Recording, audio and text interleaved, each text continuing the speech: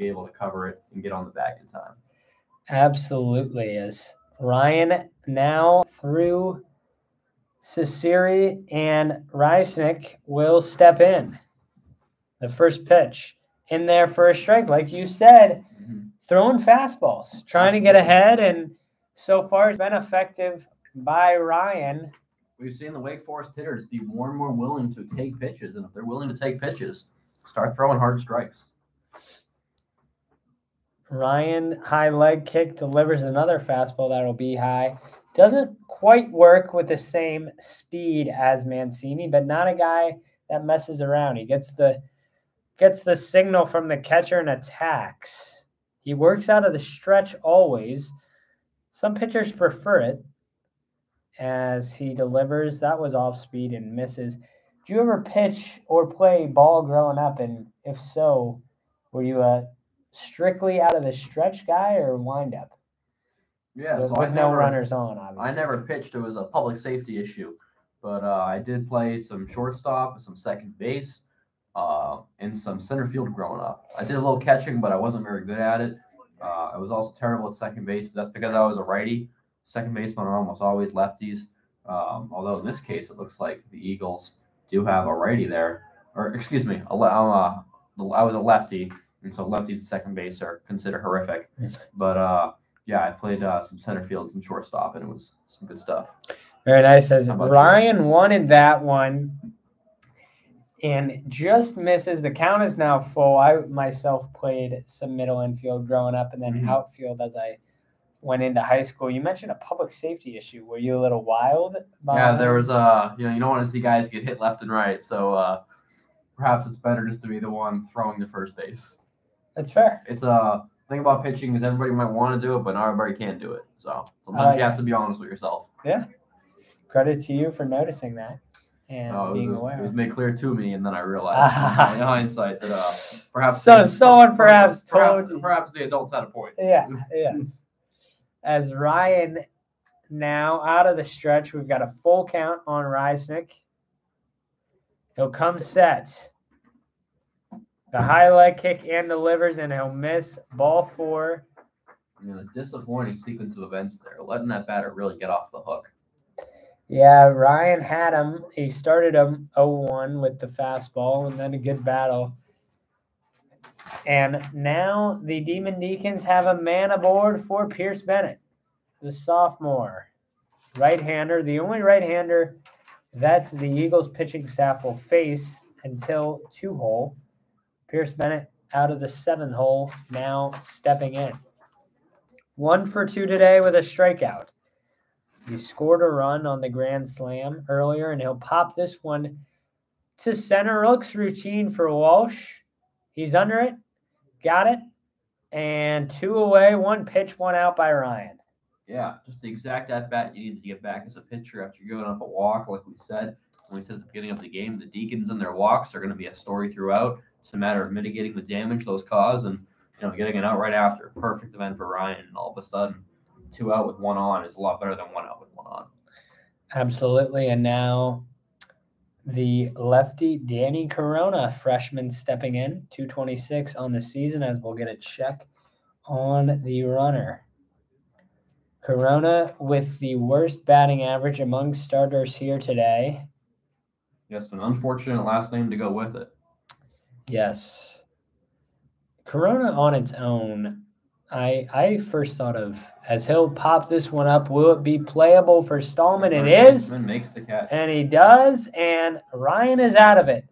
But yes, you mentioned the Corona uh, last name. Obviously, coronavirus took the world by storm, impacted both these rosters. Shaw met in his sixth year, um, COVID year, Mhm. now today. Uh, Wake Forest not as affected considering they start a lot of freshmen and sophomore. And look who's stepping back onto the rubber. It's Rhett Lowder. Wow, are you surprised by that? I'm not because I don't think we saw much action. Again, folks, we've got the watchtower in our way. Uh, but this is your ace, and he's hot.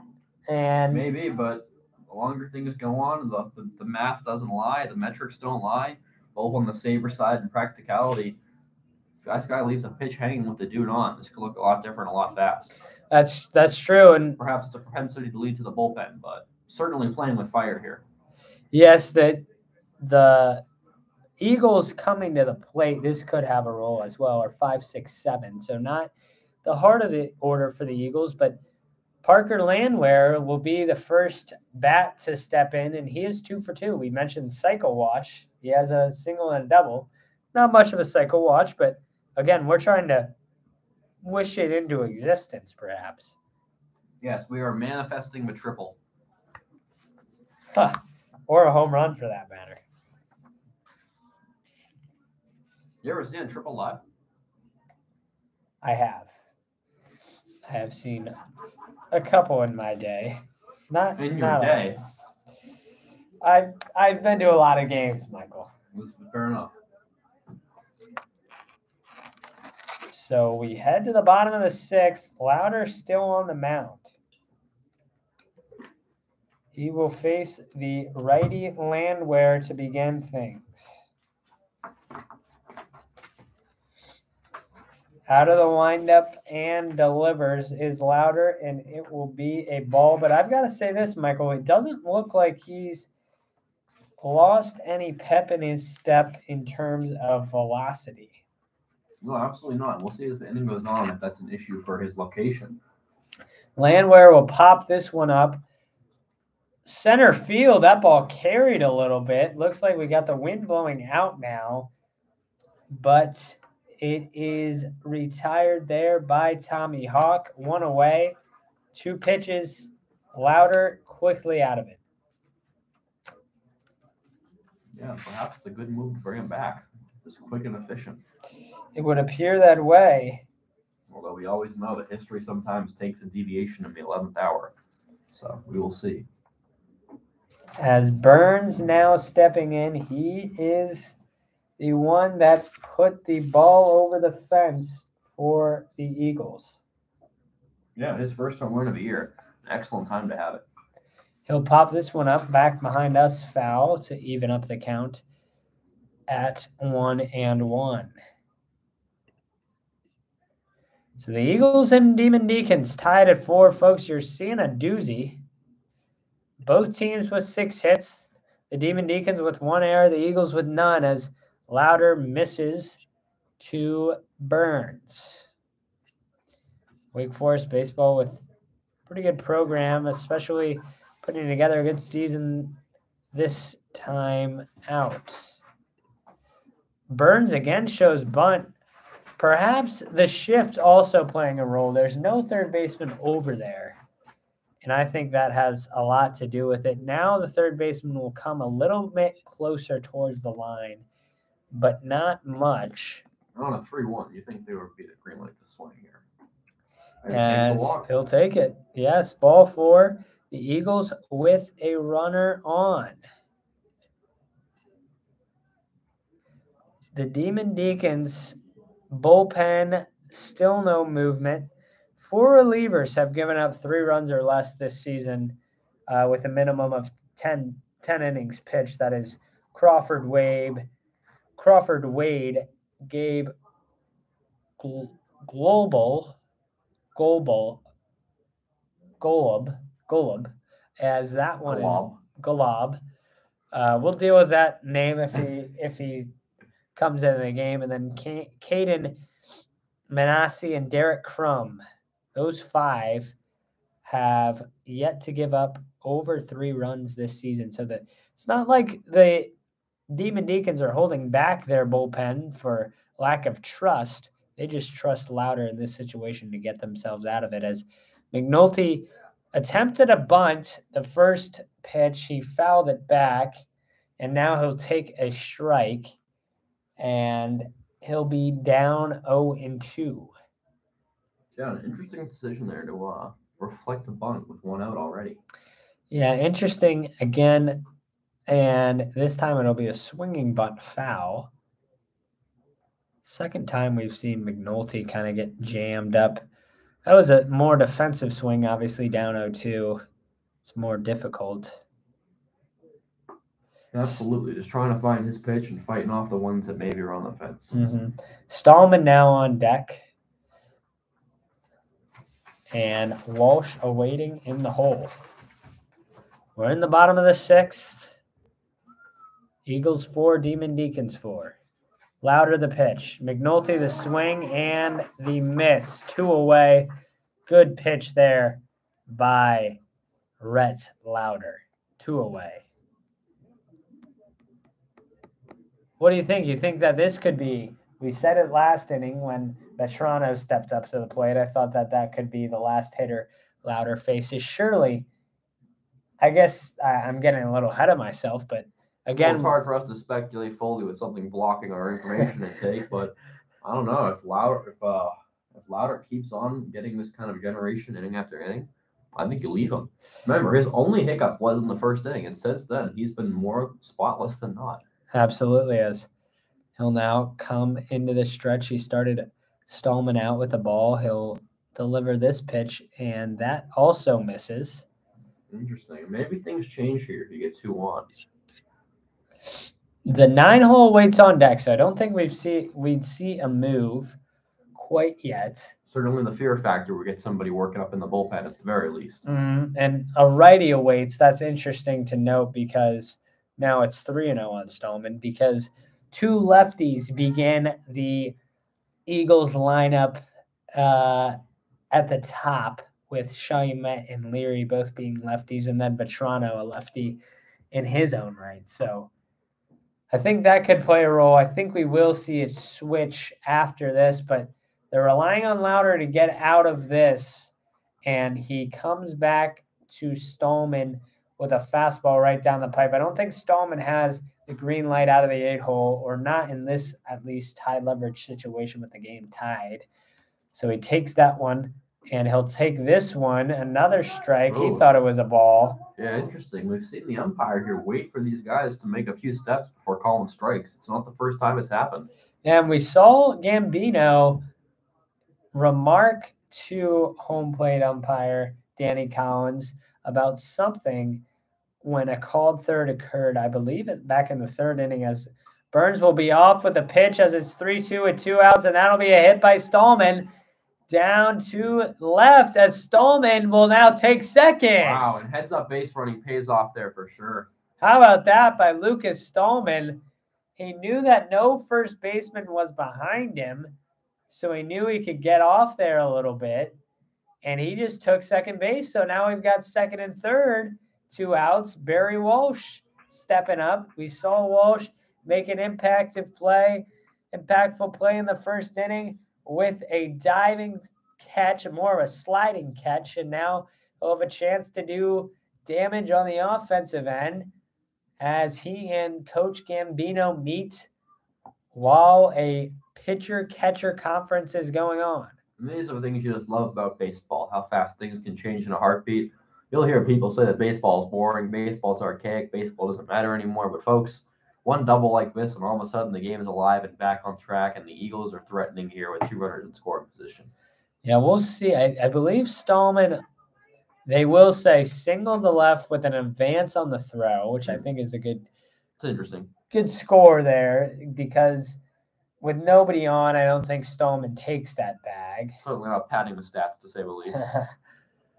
but Walsh will step in, Lowder out of the windup, and that one had some heat. He has certainly not lost any velocity. No, it's like a Verlander mentality. Even going deep into these games, he continues to throw it out and throw it out at the spot he needs to. Again, for you folks just tuning in, this is Rhett Lowder on the mound in the bottom half of the sixth. We tied at four. Eagles out hitting the Demon Deacons seven to six. As Walsh will ground that one to first, and that will get Lowder out of the jam. Yeah, the magician on the mound yet again finds a way to make it work. Nick Kurtz easily over to the bag. And again, Gambino meeting with home plate umpire Danny Collins. This exchange lasting a little bit. Doesn't look any hostile, but certainly something to keep an eye on. Oh, there's some. Uh, now, now there's, it's there's some disagreement in the Yeah. arms. Now we are getting a little disagreement. The Italian and Gambino flashes for a moment there, folks. So he is not happy. And who can blame him? Some questionable calls. Although, to be fair and to be unbiased, they've been on both sides thus far. That is true. That is true. And as we head to the top half of the seventh, If anything, the strike zone is like those things that used car lots. Seems to be flipping around and moving in the wind a little bit. I like that. I like that. We'll have Joey Ryan still. The righty remains. No action in the Eagles' pen. that's a great call. I think that we will get a pitching change. I would be very surprised if Lowder comes back out for the two lefties at the top half of the Eagles lineup. And then obviously Vetrano, like we mentioned, another lefty. So three of the next four will be lefties for the Eagles and Lowder, a righty in his own regard. Ryan with a couple more warm up pitches.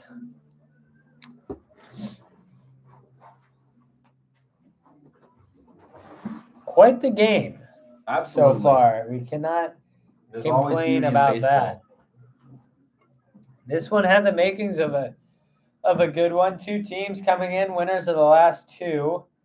The Demon Deacons typically have had some hot bats, which is why if you're Coach Gambino, I think you're a little cautious. You obviously wanted those runs to come in. You know that this Demon Deacons ball club might be hard to slow down for long. Again, we mentioned the fact that they have scored 20 plus runs in three games. They've also scored thir- 13 runs against nationally ranked Liberty, and 20, one of those 20 runs came against Georgia Tech, 27 to 7 in that one, in a win as Ryan delivers to Hawke a fastball right by him. Again, we wish we had velocities, but we do not. But that was right by Hawke. We also don't know the pitch count. We, I believe, we can find that out with this handy dandy Home stats. uh, live stats, which we will try to get to you. As Hawke will will ground one through the left side for a base hit. Good piece of hitting there by Hawke. Just took it with him Yeah. to the opposite side. And always And- dangerous when the leadoff man gets on. Yep, back to the top of the order. Nick Kurtz with a guy on.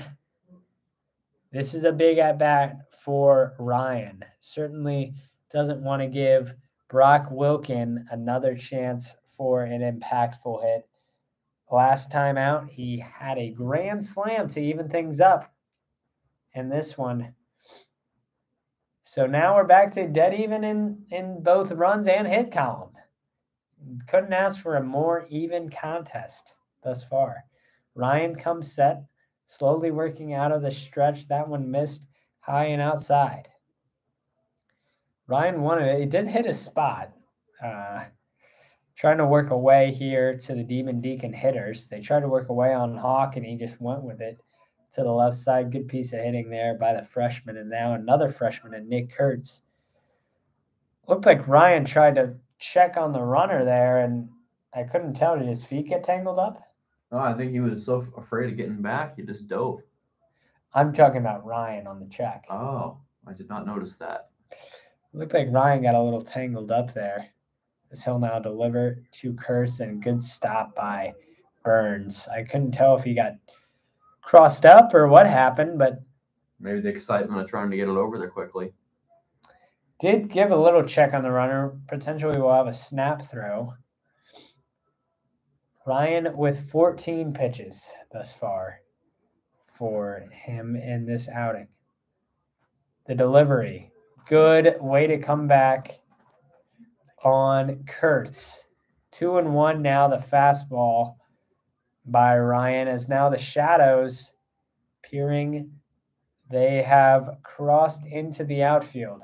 We've got a little shift again as McNulty, the shortstop, playing on the right side of second base for the lefty Kurtz. That was a good pitch and doesn't get the call. I wonder if Coach Gambino saying a few words potentially could hurt the Eagles. Maybe. I mean, these umpires, they uh everybody knows Joe West and everybody knows Angel Hernandez and You know, maybe there's a doppelganger in the audience today. Uh oh. But certainly, you know, the umpire tries to remain as impartial as possible. As Kurtz lines one down the right field line, it will just be foul. Definitely good to get from a 3 1 to a 3 2. Maybe Ryan this time will throw it down low again and throw hard. We've got no action in the Eagles' pen. So certainly something to keep an eye on as Ryan battles against Kurtz. The top of the order now for the Demon Deacons has a chance to do trouble again. Hawke got it started with a grounder through the left side. He'll now run on the pitch. That one is popped into shallow center and it'll get down. It gets down. And now Hawke doesn't. Wow, Hawke's taking third base. How about that smart base running by Yeah. Hawke? So that one was looped into shallow left center. Hmm. Again, we mentioned that McNulty was not there because he was playing on the right side of second base. So you had a little little mix up. I don't want to say mix up because that would imply that the each player had a chance at it. Shaw Met had to go a long way. Walsh had to go a long way. Stallman perhaps had to go the longest way. And I don't think Ryan picked up that he had to go and attend to third base. Yeah, and by the time Burns realized that he hustled over, but in catcher's gear, it's hard to close that distance. Yeah, Hawke took third base. Great base running. He was on the move. It looked like that was a hit and run because he was stealing and the swing. And now, obviously, Wilken, who just hit a grand slam, has done it again. A three run shot by Brock Wilken, the sophomore, has done it again. And another beautiful swing, just absolutely feeling it the exact same spot, folks. Maybe a few feet to the right this time. Talk about having a place you want to send it. Holy cow, the left center. And how about that? The Wilken Wow. Dapping up teammates. Him and Hawke are quite the difference in in physical stature. Wilkins standing at about six five. Hawke at, a, at listed at five six. But credit to Hawke, he got things started with a single. Kurtz keeps it going with a single, and Wilken with a home run. I'm just really impressed by these bats by Wake Forest. You knew they couldn't stay, keep them quiet, and I'm really impressed by the youth of Wake Forest battling, obviously down four nothing to begin things here, and now just like that, seven to four after two home runs by Wilken in the last three innings. Yeah, you can just see it. These fastballs, when they hang high, it's why we've been saying throw low. These Wake Forest bats, they capitalize. And oh boy, two swings can change the game. And folks, it's not looking good right now for Ryan. No, and again, no action in the Eagles' pen. Coach Gambino is going to ride it out with Joey Ryan. He hasn't surrendered more than three earned runs all season. So hopefully that trend continues and he's able to keep it under a threshold that would be manageable for the Eagles to come back for. So the critical thing here is to just realize it as a new inning, right? I mean, there's no base runners, no outs. You think about it as a three run home run, that's only going to hinder your ability to get the strikes across the plate. So really on Ryan to locate the zone here and get back to it, and he does with the strike. Yes, two and one now on the three hole hitter, Michael Turconi. The Demon Deacons have taken a 7 4 lead with two home runs by Brock Wilken in two of the last three innings, as we noted. Quite the contest here so far today at the Harry. The Demon Deacons out hitting the Eagles now seven nine to seven. And now Ryan behind on the hitter three and one. Again, a Demon Deacons ball club that can swing it. And finally they're showing that. And that one just missed. I don't know where that missed. Yeah, Looked pretty good to me. Another critical walk by the Deacons, just showing their prowess at the plate, both in the terms of skyrocketing over the left center field, but also just creeping over to first base on four pitches outside the zone. Yeah, you mentioned off the top how they have been prone to taking walks. Yeah. And that's exactly what they did there. The there. Deacons lead the ACC and they're fourth in the nation, folks. I'm sure their hitting coach specializes with them on it, and they show it today. Absolutely. As Ryan out of the stretch delivers to Tinsman. Now we've got a little movement in the Eagles' pen. We'll have the warm up catcher jogging down there to help out. That hitting coach that you mentioned, Bill Cilento, comes from Siena. 13th year. He has followed uh, Tom Walter as that's another hit for the Demon Deacons to Walsh. He has a little trouble with it. And first to third goes the runner. Turconi Tinsman has done it with a single, his second hit of the game. And first and third, no outs for the Demon Deacons. Now we got double barreled action, it might Yeah. appear. So clearly, the Gambino family feels they need to switch it up instead of getting criminally crushed with the ball here. Yes, yes, folks, that was a mob joke. again we we with michael in the booth you have the promise of some pop culture commentary, references. yes. Some, So- some questionable takes. to review thus far for the demon deacons we've got four hits this inning one of them being a three-run home run and also a walk by michael turconi that puts us in the position we are currently first and third for the eagles no outs for the demon deacons that is no outs recorded by the eagles and now we'll get a conference with the entire infield And what's your message right now as the coach going out there? How do you try to calm down Ryan? How do you kind of try to recenter this game? I mean, three runs is not the end of the world. You've got three more innings of baseball to play on the offensive side. What's your message to your team right now? You know, this is a, a batter in Sasiri who is powerful, 30, 305. And I, I think you tell Ryan to uh, to be careful, know the game plan. Certainly, they've had meetings about each one of these Wake Forest hitters. They know the scouting report and get this guy out, and then you're ground ball away from getting out of the inning. Uh, so keep keep the damage uh, as minimal as possible. But this is a big big at bat. Keep the double play intact, and then Oh, God, try to yes. get a double play. Yeah, it can't be understood how critical it is to get it out here, whether by strikeout or by air. Any advancement of the runners really poses a serious threat to additional runs to come across the board. As that one is fouled back, as our heater has clicked back on. Synonymous to the Wake Forest bats heating up here, Michael, as Apparently so. It's a uh, good indicator. the Eagles have struggled in the last couple of frames to keep those hot bats quiet.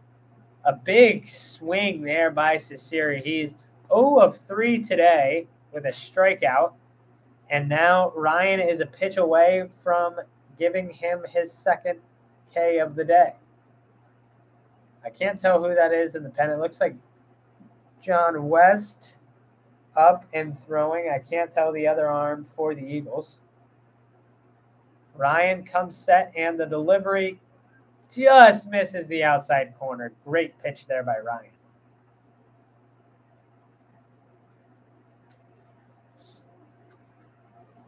One and two now on to Siri the lefty. We'll get another lefty on deck for the Demon Deacons. We have a lefty warming in the Eagles' pen. Ryan comes set, delivers right up the middle. That'll get through a single. We'll have another first to third movement by the Demon Deacons, and this game has opened up eight to four now. Absolutely.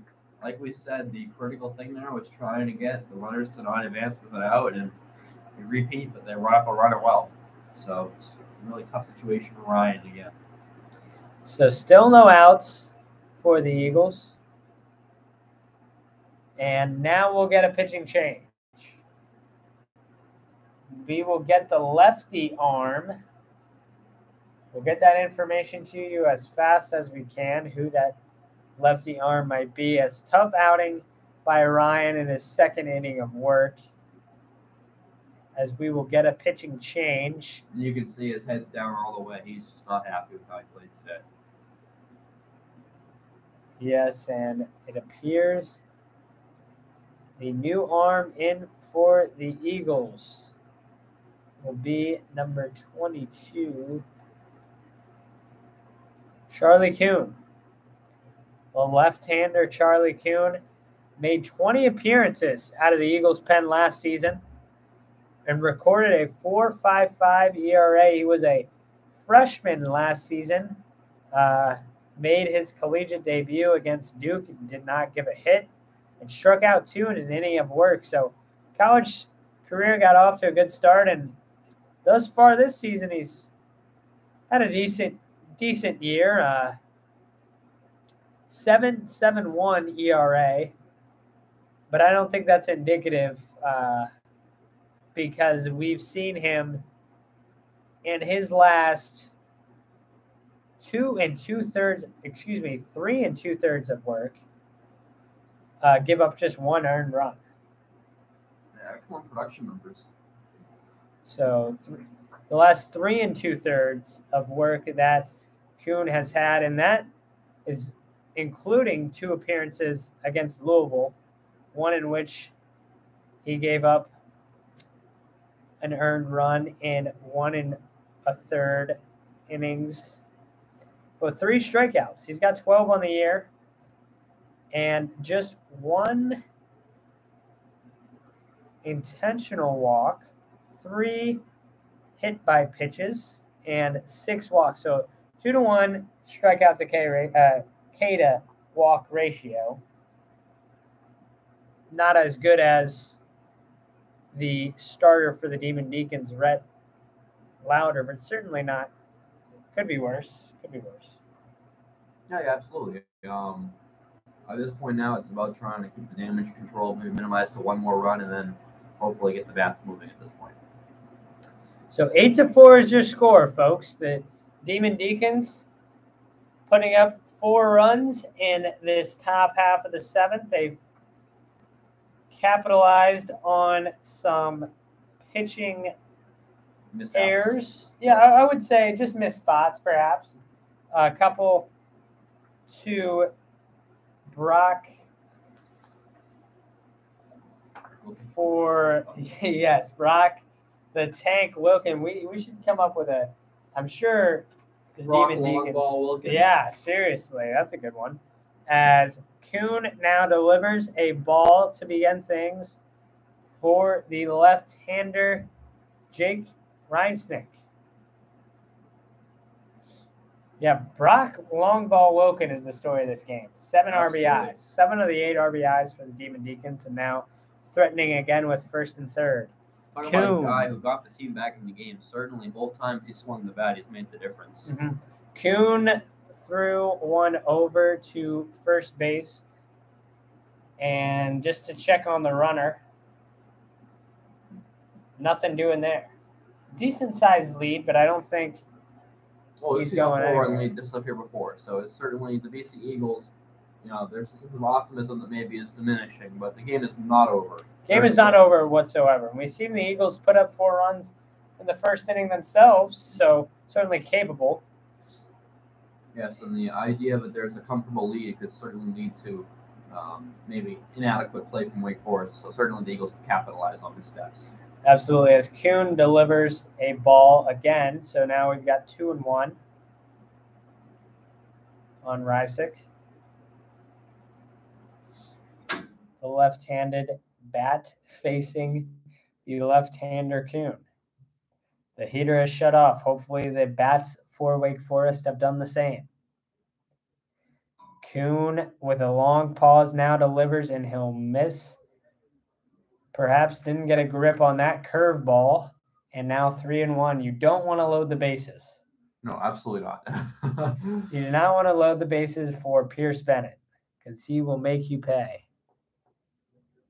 17 RBIs on the season for Bennett, which is the second lowest in terms of starters for the Demon Deacons. But this one's trouble and it falls. That was a high looping fly ball, kind of in the zone of confusion, I guess, between first base, second base, and That's- right field. That really difficult no man's land where so many of these balls seem to go today. It was no man's land. I think the wind, the wind is a little, it's quiet now. So I think that was just a, you couldn't really place a ball any better in terms of how the alignment was. I think Gold might have overrun it.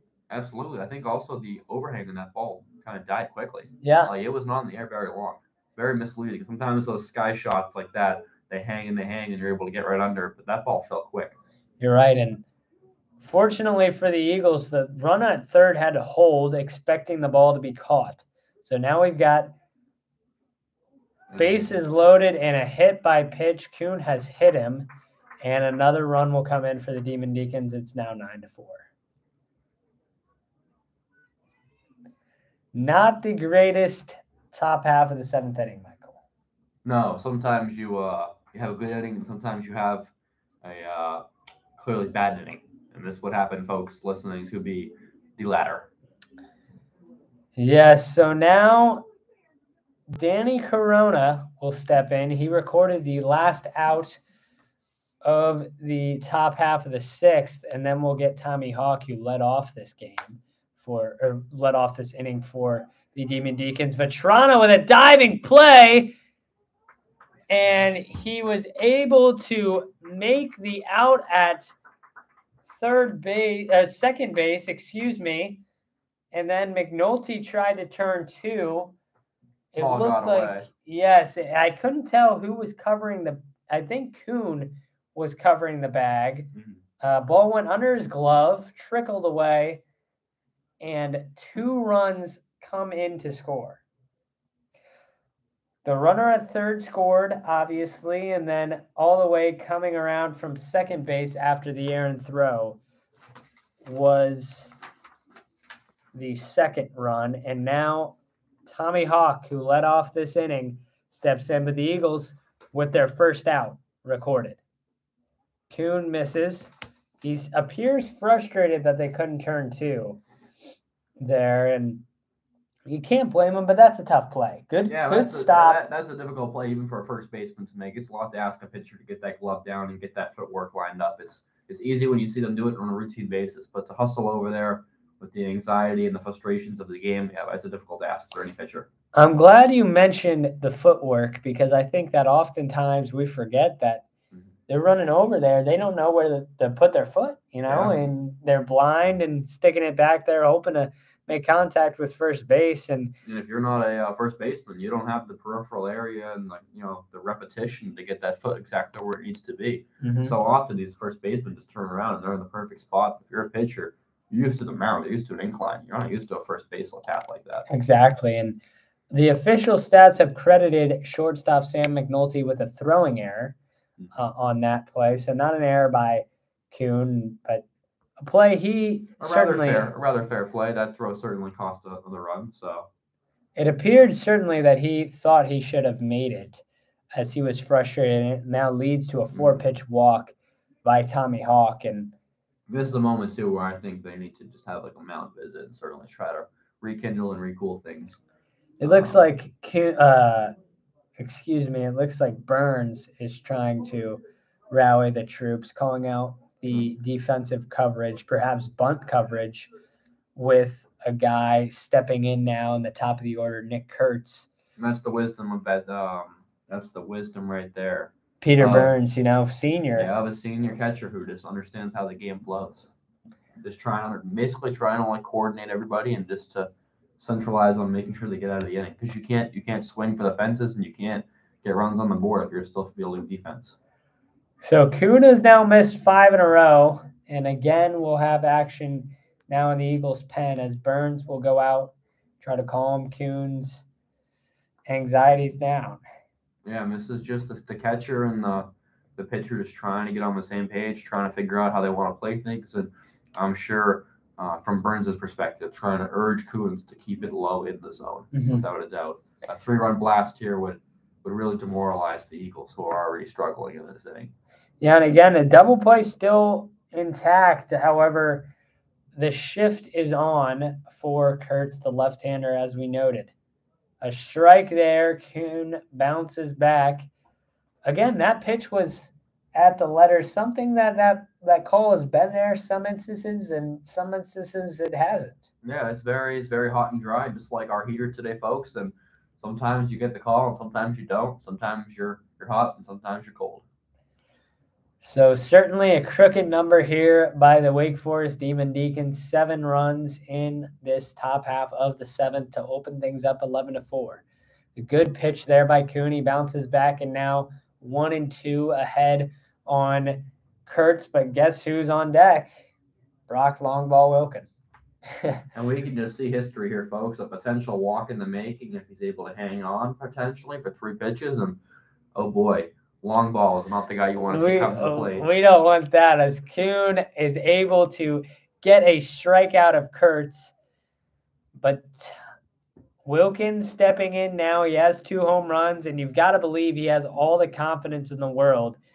And this is the first time he'll face a lefty. So he gets, I don't know, Wilken's splits off the top of my head. That would uh, take our production staff a minute to get that going. But Kuhn certainly has to be careful. Two runs on, uh, two runners on, excuse me. You don't want to give Wilken an opportunity for his second three run shot of this inning. Absolutely. It can't be stated how important it is to keep this ball low in the zone. This is a guy who, when you leave it up high, I mean, just a beautiful swing. We've seen it twice already. You just you don't want to see a third round of that. Yeah, I'd say try to work away too. We've seen uh, Wilken pull both his home runs to left left field as Kuhn got him started with off speed inside that caught that inside corner. So he's up one and nothing now as the high leg kick delivers. That one's in the dirt. No advancement. Great stop there by Burns. Absolutely. Kicking it right out there. Just a veteran catcher trying to get distance between him and the batter. Just really, really good technique. So Kuhn steps back on the rubber now. I wonder what's going through his mind. Knows that the damage can be a little salvaged with stranding two runners on, but certainly Wilken does not want to let that happen as he'll take a big hack, foul it off his ankle. You knew the intentions there of Wilken. Yes, that was headed about 380 feet in a different direction, folks. But unfortunately for Wilken, he did not get his third shot of the day. So now Kuhn will have the chance to put him away. One and two on Wilken. Two outs in this top half of the seventh. The Eagles will have the top of the order coming up. And again, long layoff. So I really imagine Rhett Lowder is done for the day. And great pitch by Charlie Kuhn. Retires Wilken looking by way of the K. And after seven and a half, we've got the seventh inning stretch. The Eagles four, the Demon Deacons seven. What do you tell your batters there now? What's the approach? How does it change? Are you perhaps more patient now? We've got it. We do have a new har- arm in for the Demon Deacons. Yeah, absolutely. I think there's a um there's an element of don't be the hero, right? When you're down seven runs, one plate appearance statistically cannot change this game. It just simply can't. So the element is team ball in the sense that you want to find your pitches, you want to do what you need to do, and you want to chip away bat by bat. And hitting solo shot after solo shot is not feasible, nor is it the right way to play this game. What's really, really important for the Eagles is to realize they have three more innings to hit the ball. Use those opportunities and slowly try to work back at that deficit. I think that's going to be the key to success here. Absolutely. So we do have a new arm, and is lefty Crawford Wade, another great name for the Demon Deacons. Crawford was one of those guys we noted that he has only given up one run, a minimum of uh, 10 innings pitched, that is. And it's for, the one guy whose name we're sure of pronouncing the right way. Yes, he is exactly. Through 15 and two thirds innings of work, Crawford Wade has surrendered one run, one earned run. That was against NJIT of all teams on all the way back on February 27th. So certainly Wade is a hot arm. Interesting move here by head coach Tom Walter in his 13th season with the Demon Deacons to put in Wade in this situation because it's low leverage. You never know when he'll be needed later in the game. But again, the lefty arm, I think, has a lot to do with it, considering three of the next four batters in this Eagles lineup are lefties. So the Demon Deacons, who coming in are off to their best start since 2006 with a 19 and 6 record. And Rafe Shayamet trying to mount the early implications of a comeback, dare we say? Uh, starts with Shayamet here as Crawford delivers. Absolutely. And just like that, taking the strike. I think that is the right approach. The idea of just hacking for the fences here is not the right solution. And it's good to see there's still some patience in the BC lineup.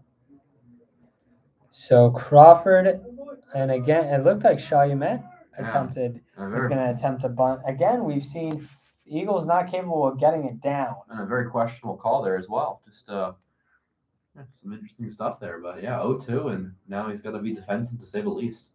So Shayamet will take high for a ball. Crawford, perhaps a waste pitch there.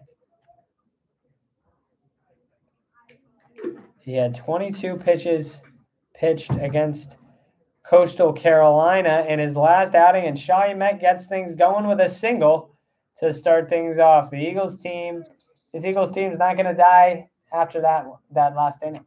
No, Baldwin is somewhere in the building, and that spirit is alive and well. There's still some emphasis on just getting one hit at a time, one base runner at a time. And clearly, the leadoff man getting on after being down 0-2 in the count. Excellent, excellent progress. So now the two hitter Leary, who's hot, stepping in. And he'll swing and foul that one back. Leary with a hit and scored a run earlier this game. Like you mentioned, the record 10 home runs through 25 games, a team record. Mhm. Leary, a sophomore. Crawford delivers. That one's punched out to right. He could have 11. He does. Home run, Cameron Leary. Just like that, the Eagles get two back. Absolutely. What a critical, critical hit. Excellent. Like we said, finding the right pitch and punching it through. And interestingly enough, the left side of the field has been dominated by Wake Forest at home runs, and the right side is Boston College all the way with their second now in the game. Yeah, that one bounced off the scoreboard, and Crawford has surrendered his first earned runs since all the way back on February the 27th, and he does it against, gives up two hits to two lefties. Uh, the lefty arm himself, and now will face the righty in gold, who takes a strike on the inside corner.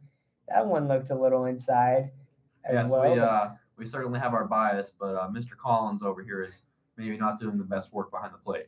And same spot and same result. A called strike gold bends at the knees. He did not like it, I don't think. And now Crawford. Crawford works fast as well. He's already in the set, already delivering. And Gold with a shot. That one's going to get over the head of the left fielder. He'll go for two. He's got two. The season leading doubles hitter has done it again. Three straight hits for the Eagles. Absolutely. This no. game's not over. Yeah, of course. Uh, just like that, like we said, one hit at a time. And the critical thing to note there was the left fielder, Cerise, really misplayed that ball from the get go, went right over his head, and there's really no excuse for that. So whether it was lost somehow in the clouds, or maybe he didn't time it off the bat right, or the sound was a little weird, still in the area. But hey, no complaints, and there's a second baseman, or there's a guy on second now, and no outs. Yeah, it looked like Cicero was stuck in quicksand almost. He confused on which way to either turn around or go backwards or go forward, I should say. he seemed kind of uh, conflicted, and when the ball's in the air for two seconds, you got to make up your mind fast. so it looks like Coach Gambino is talking to home plate umpire Collins, and he'll go back to the dugout to d- consult with an assistant. I don't know if we're going to get a swap here. Vetrano is a lefty facing the lefty in Crawford Wade, but again, Vetrano has had damage. I doubt you'd ever pinch hit him. I agree. I think he's had some success in this game already. I think at this point you want to keep the bats together unless there's a very good reason to pull one out. So Vetrano will have a chance to keep the momentum going. The Eagles have answered the Demon Deacons seven runs in the top half of the seventh with three hits and two runs so far in their bottom half. But Vetrano stepping in. He's got the capability of keeping the momentum going, and he'll take a first pitch curveball by Crawford Wade. Good pitch. A beautiful pitch there, too, with a very nice drop at the end. We've got some action in the Wake Forest pen. Looks like a righty up and throwing. Wade comes set. He'll deliver. Vetrano reach for that one and he'll poke it out to center. Hawke is there and he drops the ball.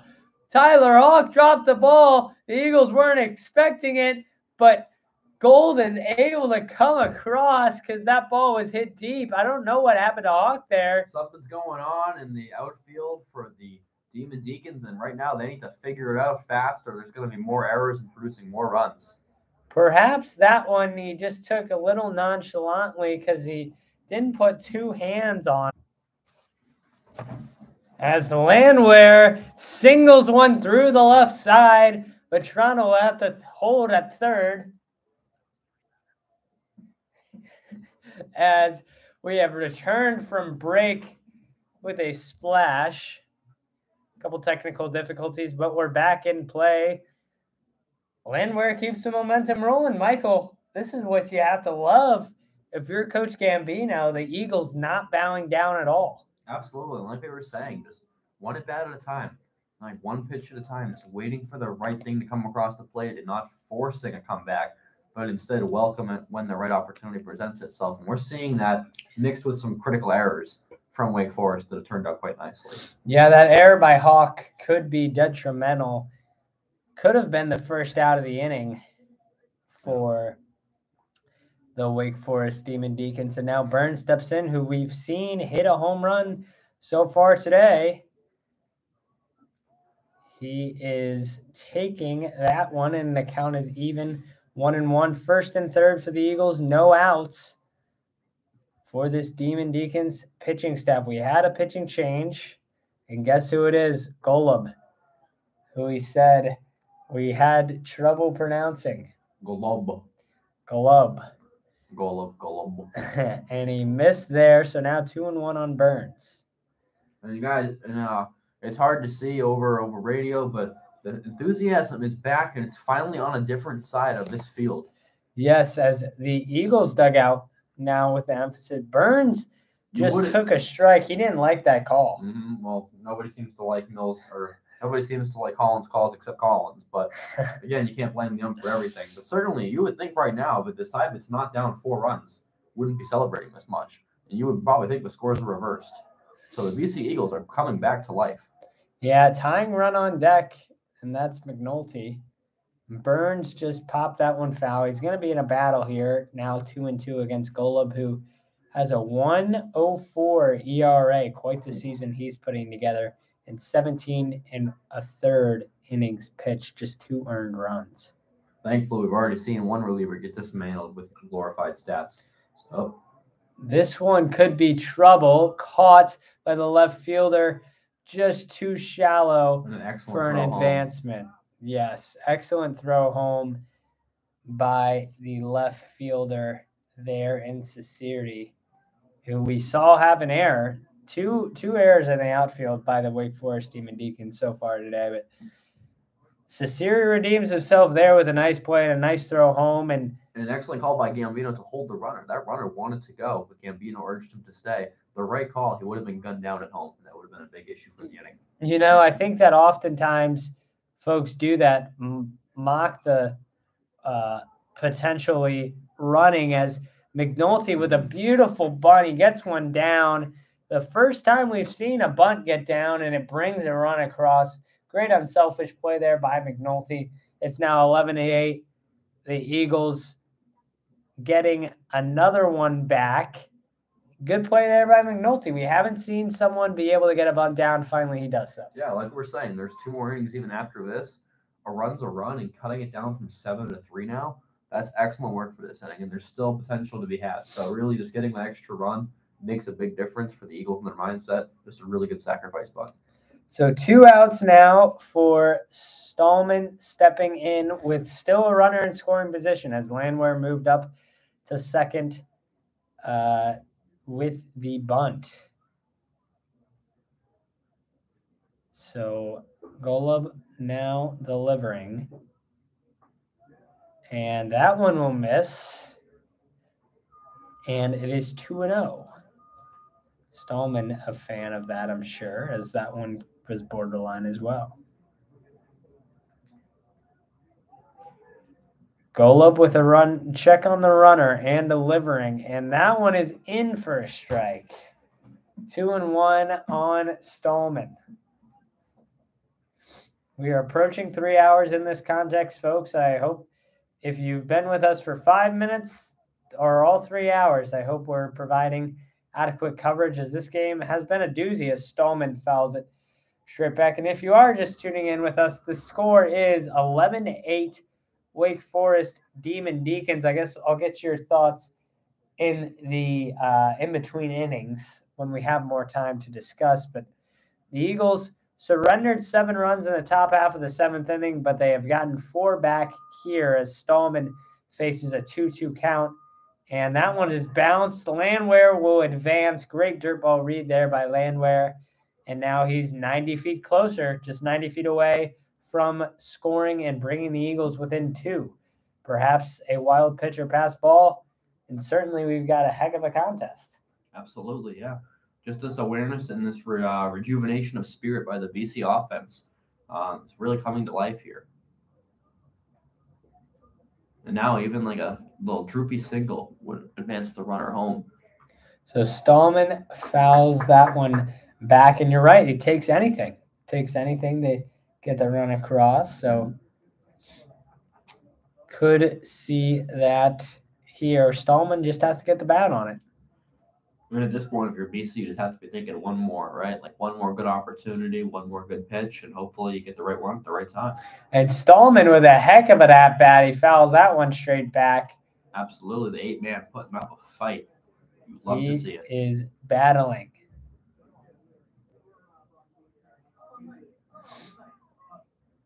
Golub now in the stretch. Peers in and delivers. Stallman swing and Stallman miss. So Golub gets out of it unscathed. Only surrenders the RBI sack bunt. And your score remains 11 to 8. But Michael, look look ahead of these last two innings. Eagles chipped away at it uh, last time out, and you think they stick with Kuhn? I guess we'll get the answer now, and it doesn't appear that they are.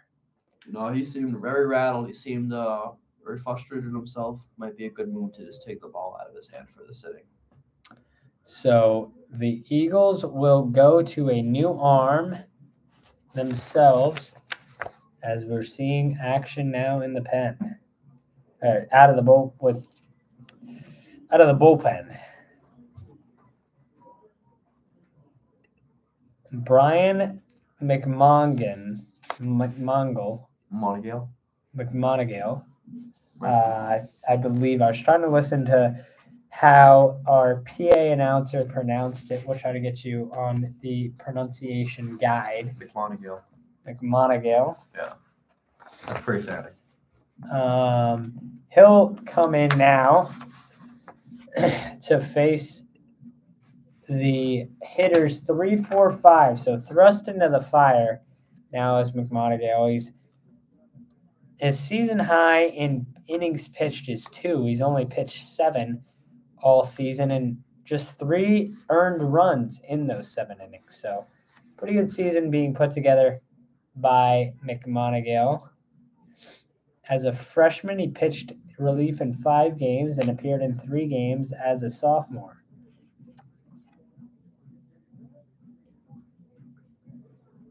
So McMonagale will have a chance to hold the Demon Deacons as they are. will be a tough duty, as we mentioned. Three, four, five coming up in this Demon Deacons ball club has shown the capability to pop off for impressive, impressive innings.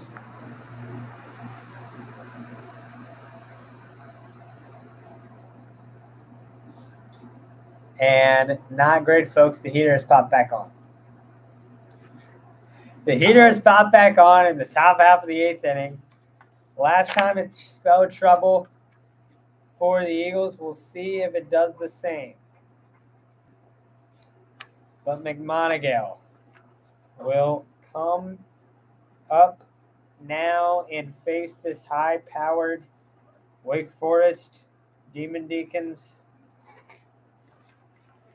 batting order. Three, four, five, with the three being Michael Turconi, and he'll take strike one.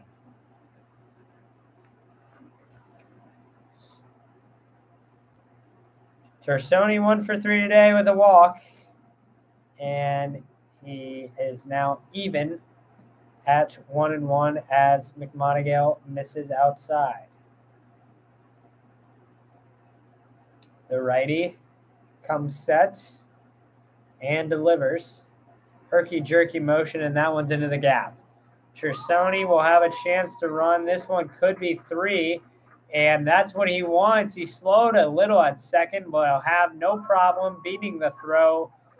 A triple for Michael Turconi. Not the best start for the Eagles after they got four of the seven runs back. And all of a sudden, Demon Deacons threatening again. And the one man who's had the triple now notches his fourth of the season. So really a concentrated sample in the uh, Demon Deacon staff. There you go. And you asked me if I'd ever see a triple in person. Fair enough. I still can't say have, but yep. So Tinsman now up to the plate. He'll have a job to do. Infield playing up. He will shoot one into the left center gap. This one carrying, carrying, and gone. Tinsman with a home run. The Demon Deacons with their third of the game, the fifth of the game total for both sides. And just like that, it is opened back up to a 13 to 8 ball game.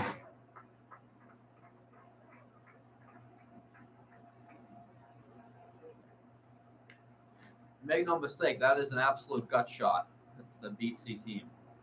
There is still time, however. Yes, that's the beauty about baseball. Demon Deacons still have to get six outs. That ball looked like a long fly that was going to be caught, but it just carried and carried and made its way over the wall. Carried Again, its way out of here. It's the uh, the tale of two cities, the tale of two sides of this baseball field. The Demon Deacons are hitting shots to the left, and the BC Eagles are hitting shots to the right. And we see it again with yet another homer in the one direction that counts. Yep, as Tinsman popped that one out of here. Now Cesari steps up in a big hack and miss. He wanted to do the same thing, but to no avail.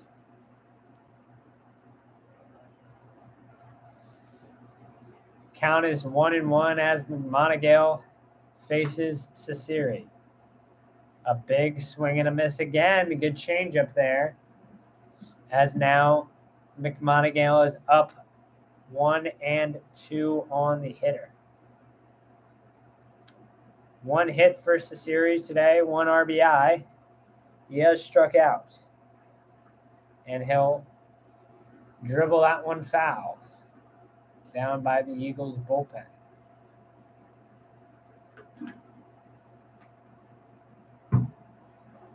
Tough for McMonagale now, who just entered the ball game to give up two quick hits, a triple, and a home run, and now all of a sudden you still got to get three outs. Reset. Is that your mindset as he misses there? Yeah, absolutely. You still have to think about it as a um, opportunity by opportunity basis, and yeah, I mean, of course, like you know, being down five now as opposed to three, that's a that's a step in the wrong direction. But you know, you still have two more chances to swing the bat, and you got to make the most of those opportunities. So I think that's the message that the Eagles need to have right now, and they also need to focus on getting back to those bats. So just making good plays, not getting in their head on defense, and not making the errors we've seen Mike Forrest make a few times already this game.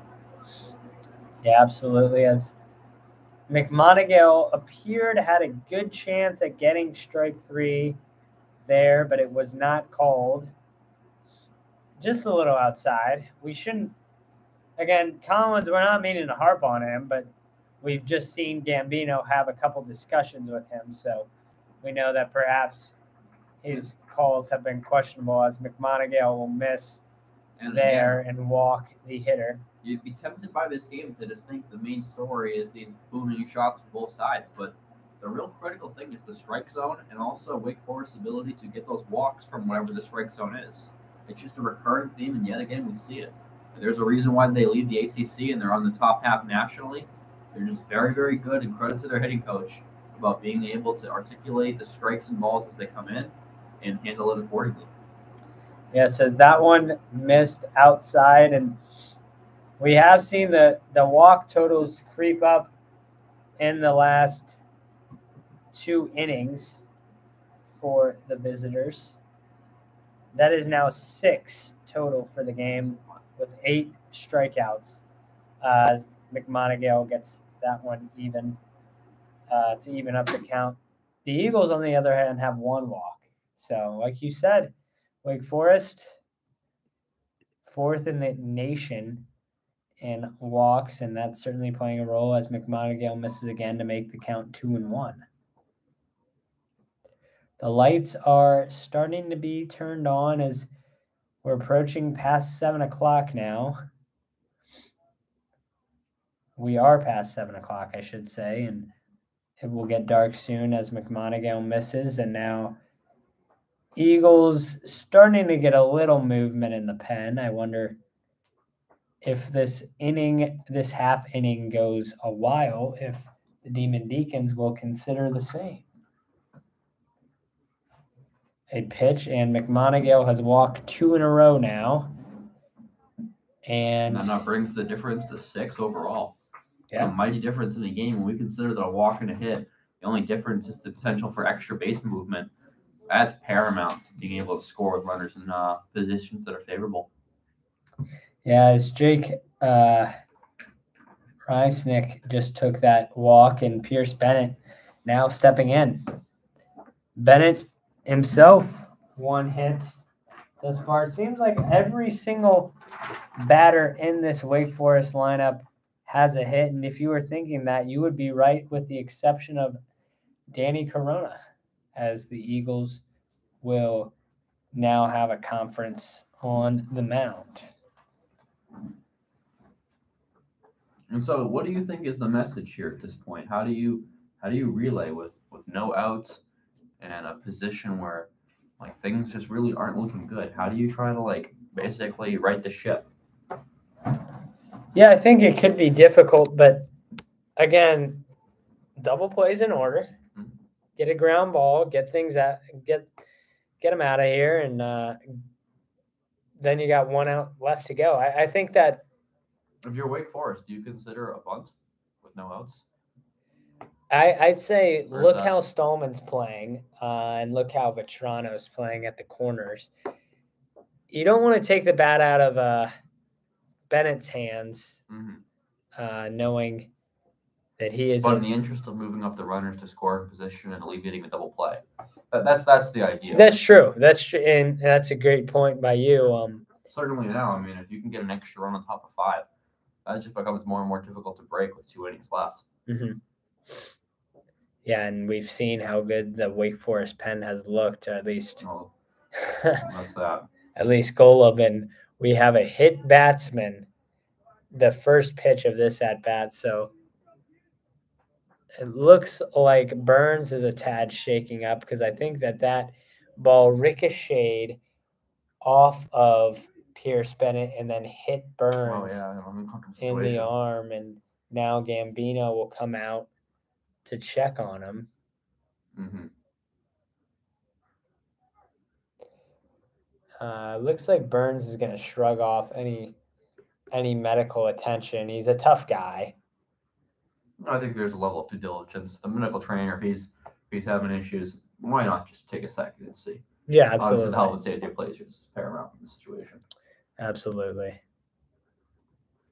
But you know, as a senior catcher, he wants to be out there to the very end. hmm Go Monty Python and cut the arms off. He'd still be fighting to the death. So Burns now thrown back to McMonagale, showing his arm, and looks like he, he will probably be all right to continue. He will, but certainly not a comfortable situation there to take a ball off the arm. So we got bases loaded, no outs, and the left-hander Danny Corona stepping in, the second baseman, who does have an RBI, but does not have a hit. So that means that every single Wake Forest player on this roster either has a hit or an RBI, and just like that, we'll have a pitching change. So McMonagale comes out, and we will see who's stepping in for the Eagles.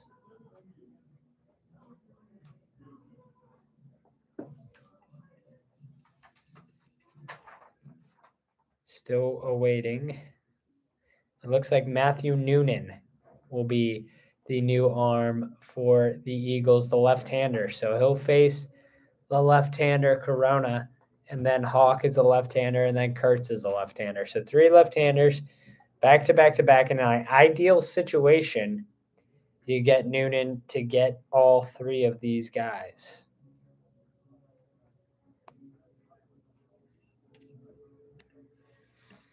We thinking we go three outs for one run here. You feel like that's a good trade off? Yeah, I think so. Uh, You know, uh, with a run with bases loaded now, it seems as though, especially with the hot bats of Wake Forest, that a run coming across is inevitable. I think you have to value outs over runs uh, Mhm. now, just with knowing how hot they've been. Absolutely. It only makes the task harder on offense, but you can't be on offense unless you get outs on defense. Yeah, So so, it's a really tough position to be in overall. exactly. With that being said, I, I mean, I think the corners will be in, middle infield back, uh, double play depth. We have Noonan coming in, who's pitched four and a third, surrendered four earned runs on the season. His last outing was against Merrimack on Wednesday, where he went an inning of work, struck out two, walked one. So the freshman will come in.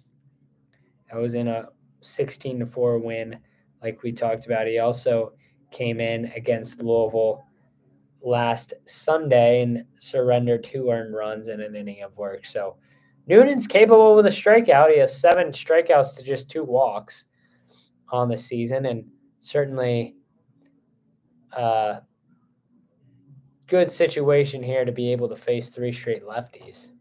But we'll see if we'll get any lineup changes. It doesn't appear that we will. It looks like Danny Corona and Tommy Hawke are the Demon Deacons on deck. Both freshmen, like we talked about, and freshman facing freshman. Here we go. Noonan just 12 pitches used on Wednesday to get out of that work. And that's especially impressive when you consider he walked a guy and had two strikeouts. So that makes no sense. So that is probably not accurate. I perhaps looking at the wrong. I wonder what NP. Because hmm. walking and striking out two would mean that he pitched at least 10, 10 pitches. So I guess it is possible. It's just highly unlikely. So yeah, What was that? Noonan only threw 12 pitches against Merrimack Wow. and had two strikeouts. So, and a walk. Okay, so, So- that's 10 guaranteed pitches. Yeah, exactly. Mhm. So here we go with Noonan. In no, all all the infield is in. So the middle infield is not at short uh, double play depth, and a big hack there by Danny Corona. You have to imagine he's he knows that he's the only Wake Forest Demon Deacon without a hit in this one, and he wants to change that. And you know his buddies on the bench are rooting for him to get on the board as well. Absolutely. This Demon Deacons ball club seems to be very well connected. As we mentioned, their home run celebration they've certainly had time to do it today. Three home runs. Oh, and- absolutely. We can see where their 20 run games come from. Yeah, they're well on their way here if all runners score or a big hit occurs.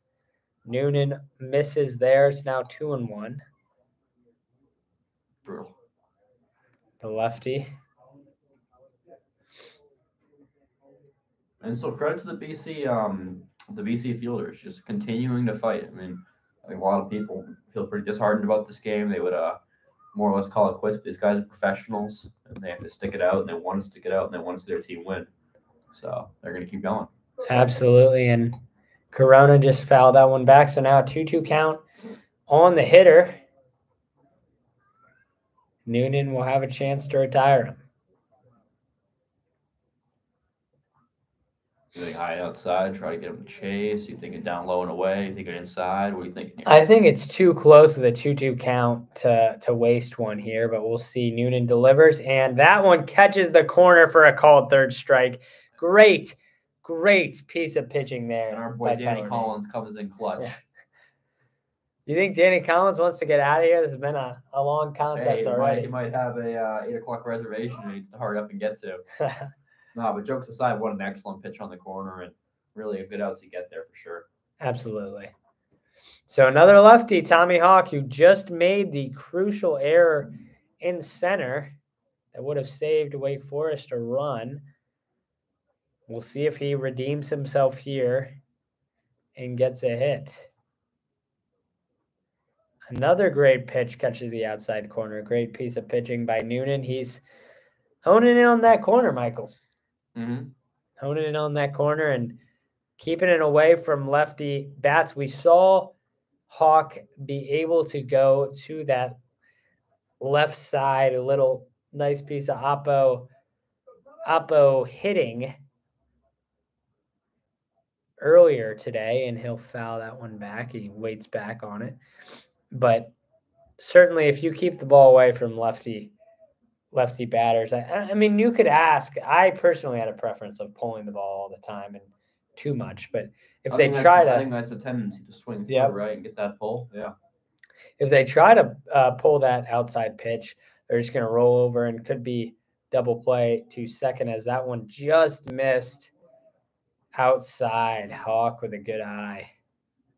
That one did look a little further outside than the last couple. So certainly the strike zone not broadening too much as Noonan delivers and a swing and a miss. Hawke will be retired.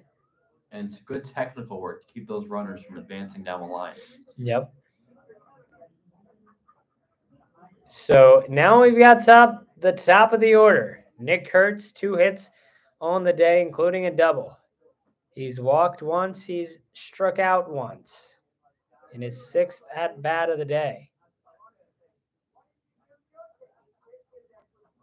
Still no RBIs. It's tougher for the leadoff guy to get RBIs. He scores all the runs. He's got two runs scored as Noonan misses. He'll try to retire the side after being in quite the predicament. Second and third, no outs, and if you escape this, that's that's pretty impressive.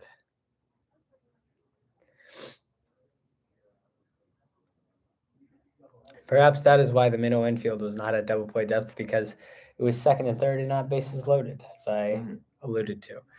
Uh, if you take a look at the first five batters in this Deacon Deacons ball ball club, or if you go back from nine all the way up to five hole, each of those players have scored two runs. Quite impressive for the Demon Deacons, and that's what happens when you score 14 runs. Everyone's crossing the plate, and lots of guys have done it twice. A couple guys have done it once. Corona, like we mentioned, the only guy not to, as he has not reached base yet, 0 for 5, but does have an RBI. Kurtz, who struck out last time, with a chance now to have some RBIs, but he's down one and two. Noonan delivers, bounces it. Nice play by Burns. That's why he's in there. He knows mm-hmm. he's capable of that, and And there's the technique to keep it on the line so the runner knows that he can't even come down if he wanted to. Just really, really good stuff that you see a senior catcher who has those reps at the plate.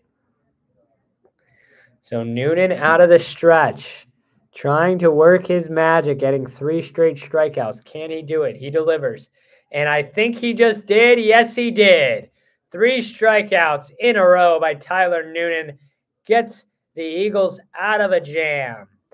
And they will go to bat. Excuse me, I was calling him Tyler Noonan, Matthew Noonan. I really apologize. I hope his family is not listening tonight, but Matthew Noonan is able to get out of the jam. Quite the performance by Noonan. I would agree. So 9 1 2 for the Eagles, who got four runs back, then surrendered three. So down six. Six is the deficit for the Eagles as Golub will remain in the game. Gabe Golub, who after last inning has dipped his ERA sub one. How about that? Yeah, it's a guy who's good at stuff and he's good and he's good with it. Although Crawford Wade had a good ERA and that is subject to take a hit. So maybe the uh, Eagles can do some damage on his ERA as well. Yes, you could look at it as it's it's due for he's A due for giving up runs. Yes. So certainly something to keep an eye on. Golub will have a righty and then two lefties. So like we talked about that matchup at the top of the order for the Eagles, certainly something that could give this righty a run for his money. Temperature outside still above 50 degrees, but certainly less comfortable than it was at first pitch. Careful, don't tempt the heater. That's true. But every time I tempt the heater, it turns on for the Wake Forest bats. So maybe if I do it for the Eagles bats, it could could doom well. It's not out of the question at this point. So here we go. Walsh stepping in. He will face Golub. Golub quickly delivers. Walsh takes strike one.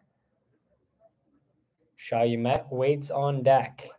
The Eagles down to their last six outs in this one. 14 to 8 is your score. If you like runs, this would be the game for you.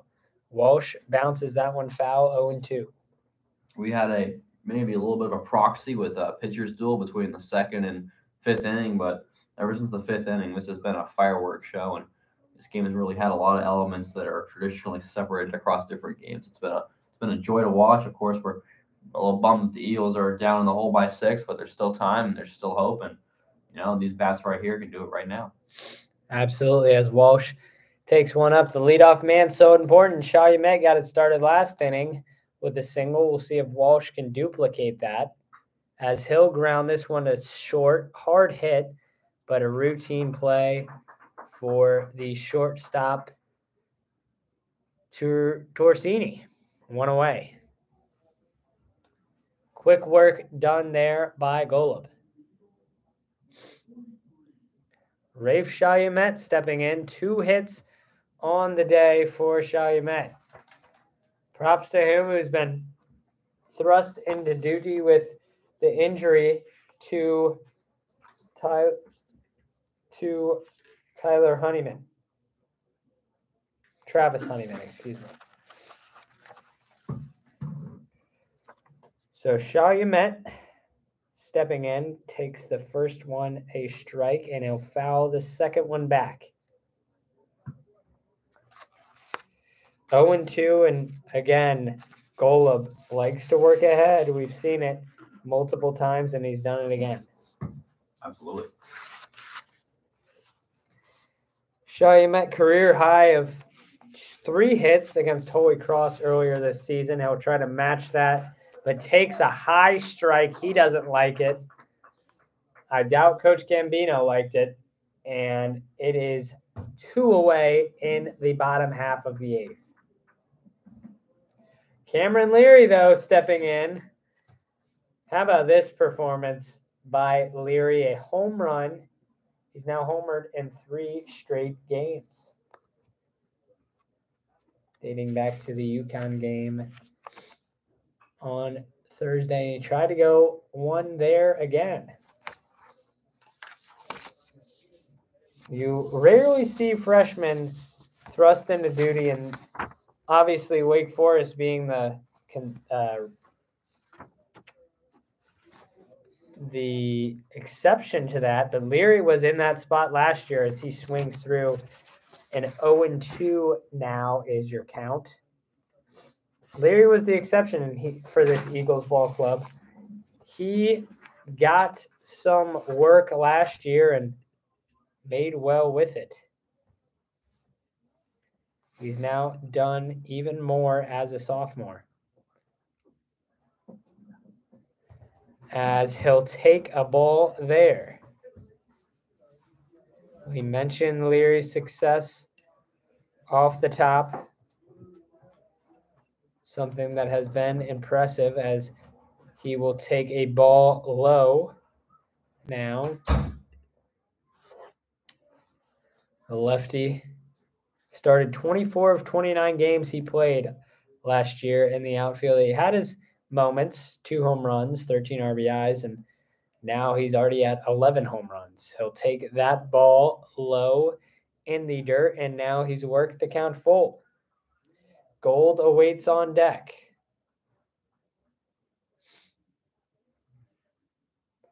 He is from New York, as we mentioned, multiple guys from New York on this Eagles ball club, and he'll take a ball right there to get on base once again. Quite the day for Cameron Leary. He's now reached base three times. One time, I guess he didn't even reach base. He just homered, so that wouldn't even count. Luke Gold stepping in. Double last time. Mm, Two for three today. So Gold will try to keep the, any semblance of life alive for the Eagles here in the eighth, but he'll pop that one up. Play by the first baseman is made right in front of the pitcher's mound. Of course, pitcher never wants to make the play, and Golub got out of the way there, and he is out of any trouble. So no hits, one left on for the Eagles, and now we'll head to the top of the ninth. Your score, Demon Deacons 14, Eagles 8. We'll see if we have a pitching change or not. I doubt it. As Matthew Noonan had quite the performance last inning, and he'll step back out. Three strikeouts last time by Noonan.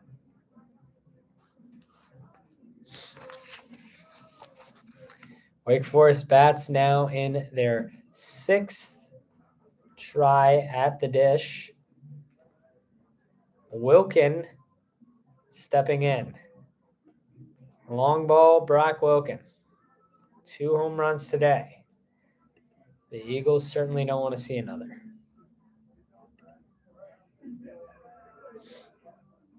Noonan continues his warm ups. As we have reached darkness here at the Harry. Crowd thinning out, but decent showing overall. And we appreciate all stepping in that have come out today. We had a decent amount of students at the game. And certainly we hope that that continues this weekend. Two more between these two ball clubs. One tomorrow at 2 and one tomorrow at, uh, and one Sunday at noon. So the ACC series rolls on, but guess who's coming to play, Michael? Who's that? Brock Longball Wilken, Oh boy. seeking to do it again. Didn't have the Wow. success he wanted last time, struck out looking. Yes. how about this? Three strikeouts, two home runs. That's the trend we're seeing now in baseball. Yeah, he's a uh, three uh, three outcome guy all the way, huh? Yes, he is, as he takes a strike there. I mean, you can't argue with two homers and seven RBIs. No, that that doesn't need much uh much qualms, I have a feeling, for this Wake Forest coaching staff as Wilken takes a ball to even up the count. Mhm. Noonan delivers Wilken a drive center field, but this one won't be as deep. It keeps carrying, but Walsh was able to track it down. That wind is blowing out. Yeah, it seemed like it could be a situation similar to the last home run where it just kept going and going and going. Although it's in the exit velocity and the um, just the sheer uh, angle of the upward swing maybe made it a little too too far to reach. But yeah, definitely a nice to swing of the bat. So now the three hole Michael Turconi stepping in. Two hits today, including a triple. Yes, Mr. Triple now with four on the season, the only guy on the Deacon squad to have more than one. Actually, more than zero. How about that? Yeah. Could be a little trivia fact down south for the folks uh, in Carolina. I'm sure they're using that on the nationally broadcast. This game was on ACC Network Extra. We were the only radio call tonight, so I hope we've had a good amount of fans listening, and we appreciate your support as Matthew Noonan now trying to get out of this. Great play by Luke Gold, but he can't get the speedy Turconi. As you mentioned, he is the guy with the triples, and he's also the guy that has three stolen bases. And only two other guys on the ball club have more than one stolen base themselves. So Turconi will perhaps put the wheels in motion. Not tonight, I don't think, because it's a six-run lead for the Eagles. But good piece of two-strike hitting there, as looked like Noonan was going to be able to retire him, but to no avail. And now he starts off the four-hole hitter, Brendan Tinsman, with a strike. The catcher has done a phenomenal job behind the dish for the Demon Deacons. We haven't seen any pass balls tonight or what. That appeared to be an intentional pitch outside, don't you think? Catcher was up and moving as that pitch came in. Maybe it was either wild or outside, but could have been a called pitch to see if the runner would take off. Yeah, I think that might have just been the way he uh, Picked it up. picked it up. Yeah, handled it as Noonan delivers, and that one will miss inside. Uh, but awareness there by Burns to check on the runner, see if he had taken too big of a secondary lead. But Noonan working fast here. He steps, comes set, and will fire high. And again, Burns has to check on the runner. You as can that hear one- that pop too. that was a pop. That was a significant pop for Noonan popping the glove in there. We don't have a velocity on that, but looked to Can safely say that was over 40 miles an hour. yes, as that one is lined down the right field line. This one's trouble. Into the corner it goes. Leary tracks it already- down. already around third. Turconi coming in, and he will score. Noonan with a good backup to prevent any further damage as Tinsman doubles. He could have advanced to third as the throw got behind Burns, but now 15 to 8 is your score. Yeah. Not a great day for the Boston College pitching staff. And so really this um this kind of speaks volumes about how Wake Forest they just relentlessly push. I mean a lot of teams here that might become complacent, they might just start swinging and stuff. They might be, you know, checking their reservation, making sure they're gonna be on time for wherever they're going. But no, these guys they value their at bats. We know that from their walks and their discipline at the plate and they see this as opportunities to continue to grow the game. They also know if they scored seven runs in one inning, who's to say BC doesn't do that as well? And they're just trying to make sure they're in the best position to win this game. Exactly. You never know with baseball. Still three outs left to get for the Mhm. Demon Deacons. The Eagles two outs away from getting out of this. Yeah, when your back's up against the wall, uh, you know, you swing the bat a little differently. Exactly as Noonan now starts the better off with a strike, and he'll be ahead 0 and 2 now. Tinsman just got that, that one to hook down the line, and by the time Leary grabbed it, it was right in front of the foul pole. Uh, trickled down there. That's kind of the backspin that the ball had. Carried him all the way there.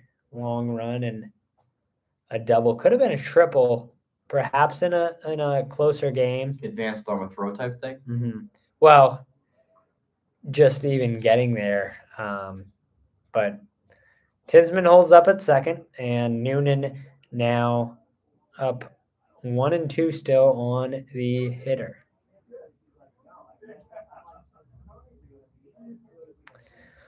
So Noonan in the stretch.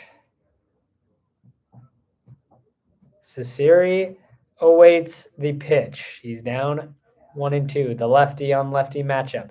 The pitch, and that one is lined into the gap, but Walsh runs it down. Tinsman is tagging. He'll get to third without contest, and now two away. That one looked like it could hook, away from Walsh, but he was able to corral it. Mm. Perhaps the wind keeping it near him. So we've got two away. One more, and Reinisch is your Demon Deacon batter. Noonan out of the stretch. He'll face a lefty on lefty again. Certainly favorable as he'll get the called strike in there on Reinisch.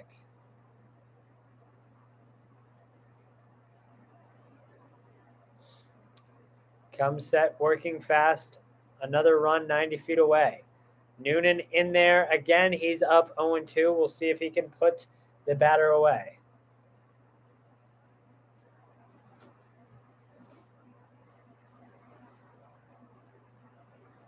Coming set, firing. Burns with a stop that could have been trouble. You got to give credit to Peter Burns. He's had a phenomenal, phenomenal game. He homered at the dish and behind the plate. Took an absolute shot, refused to even be looked at. Yep. I mean, this is just the attitude of a leader, a guy who's a senior who wants to see his team, even through sheer willpower, advance and do well. This, this is the guy who just believes in his team and he wants to see what can happen tonight. Absolutely is. Noonan battling now. He is even up the count two and two.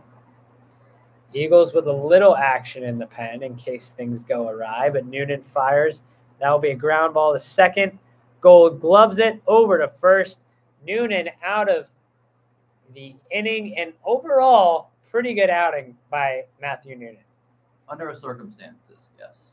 You know, I think it's a matter of getting from point A to point B. Yep. This Demon Deacons Ball Club can swing the bats, and obviously they're 15 runs show for it, but Noonan only surrendered one of those uh, in two innings of work and got out of a jam and again strands a runner at third. Second straight time he stranded a runner in that position. So looks like the Demon Deacons could have some roster moves here uh, in terms of substitutions. Looks like we've got a new arm as well.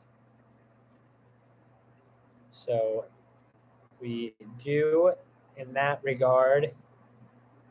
It is number 20, Derek Crum, the lefty out of Tampa, Florida.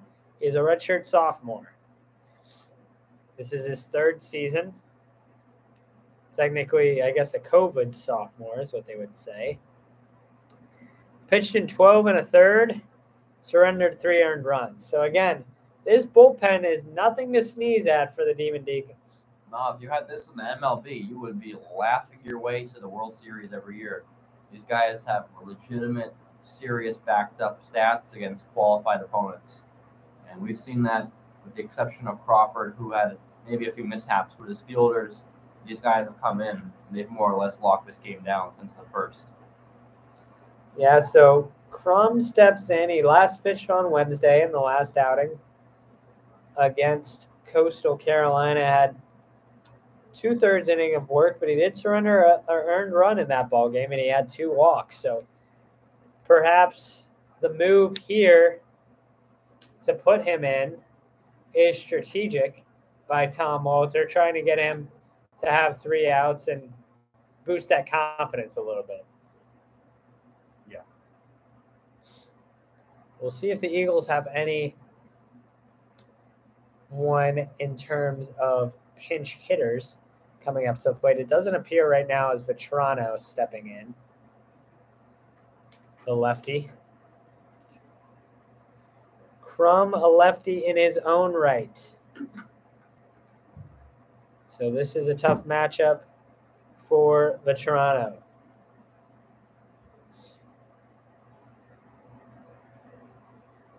Here we go. Let's do or die.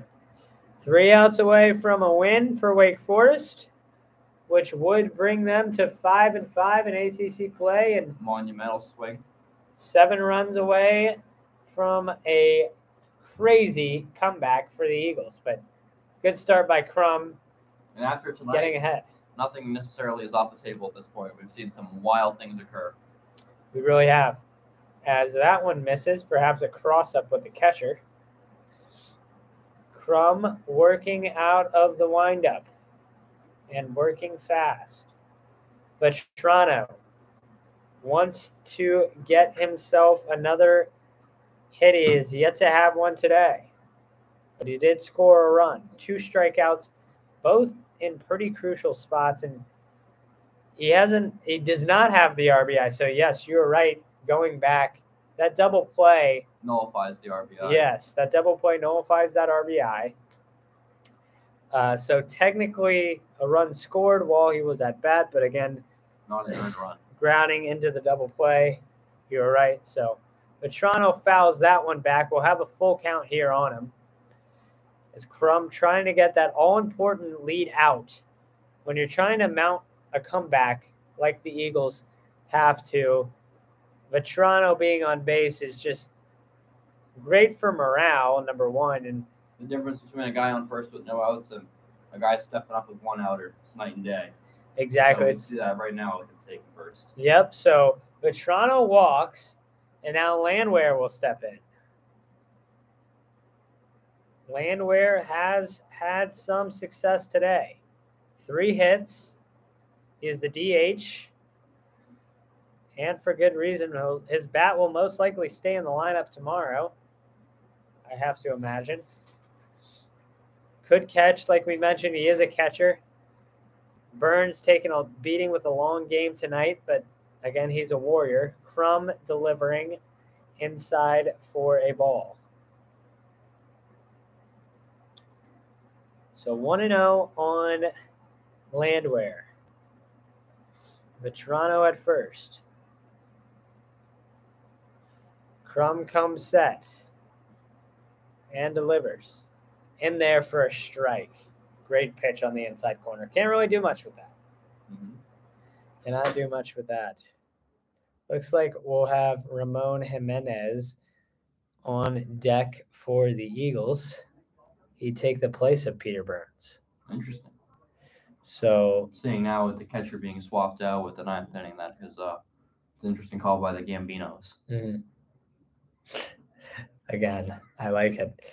So two and one now on Landwehr. This is the last thing you want if you're Crum to walk, guys. Wanted to put it in play, and Landwehr does so out to right field. carrying, and the right fielder makes the play. Pierce Bennett able to retire him, and we'll have one away. But that one had some life for a short time. He's also on the right side of the field, like we've been saying. Yep. Magical things seem to happen when you pick the right side and the left side, depending on who you are. Yep. Yep. So Ramon Jimenez stepping in. Majority of his action has been seen in this role as a pinch hitter. He has five hits in 21 at bats this season, and he'll take a ball to begin things. Two doubles for Jimenez, so capable of that extra base hit. Crum working fast, delivering, and outside on Jimenez. Vetrano still at first, McNulty still on deck, so no change there. But Jimenez in for Burns. Crum delivers in there for a called strike, right at the knees. The Demon Deacons will be back here tomorrow for a second game of the series beginning at 2 p.m. Sean Hand, your probable starter for the Eagles. as Crum working quick and now has even the count on Jimenez. Comes set, delivers. Jimenez fouls it. Good battle. The fight stays alive. Good battle by Jimenez. Got to give credit. It's been sitting sitting around for three and a half plus hours, and now thrust into action. It's got to be a tough situation. Jimenez will take that one in the dirt. So a full count on Jimenez. We'll see if they put Landwehr in motion. Or Vetrano in motion, excuse me. Most likely not in a deficit this big. Jimenez lines one Wow. coming in into left. How about that? Ramon Jimenez with a hit. And now first and second for McNulty. There's that due diligence or that diligence of sticking with the at bat, staying true to it, waiting for that right pitch, fouling back the ones that were tough to get off, but you knew were in the strike zone and gets it through that gap right there. Exactly. And on deck, we'll have Daniel Daniel Baruch uh, for the Eagles. He will be a pinch hitter as well. So, a couple of changes. He'll go in for Stallman, but McNulty now up. Crum has surrendered a hit and a walk this inning. He'll deliver low and in on McNulty.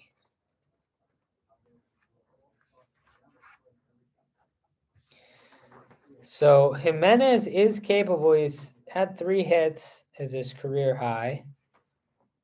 Had a couple doubles last season in the first series of the season against Duke and keeps the momentum alive. McNulty, the freshman, now tasked with doing the same.